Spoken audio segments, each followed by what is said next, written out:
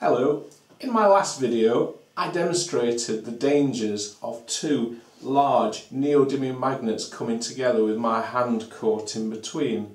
Now to make that video we used special effects and we used props. Today I'm going to repeat the exercise, there's going to be no special effects, no props, just two of these ferocious magnets and my hand in between the whole time. Right, here we have it, the moment of truth.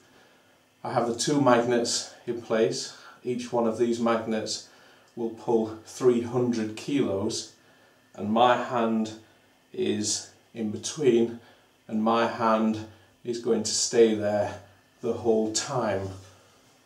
Obviously I am feeling a little bit nervous at the moment. Uh, it's an awesome feeling to be releasing the magnets and keeping your hand in the whole of the time. So here goes.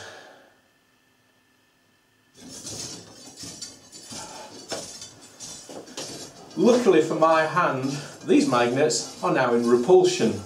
I've turned the top magnet over so that the north pole of the top magnet is repelling the north pole of the bottom magnet. Now when these magnets come to rest, they are actually floating with a gap of 150 millimeters and as I apply force to the top magnet they get closer together but we're going to need a lot of force to make them touch. How much force do we need? Well, I weigh 100 kilos. Can these magnets support my weight? Let's see. If I take uh, a block of wood put it on top of the magnets. We can see the gap has closed by a small amount. I'm now going to stand on this piece of wood and we're going to see what happens.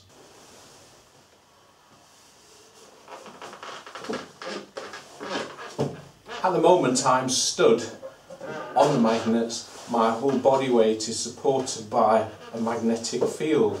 The top magnet and bottom magnet are 15 millimeters apart and yet I'm able to move, to spin around. Now to make these magnets touch each other we would need a weight of 300 kilos. If we apply a weight of 300 kilos the top magnet would be sat on top of the bottom magnet. Now I hope you found the video interesting.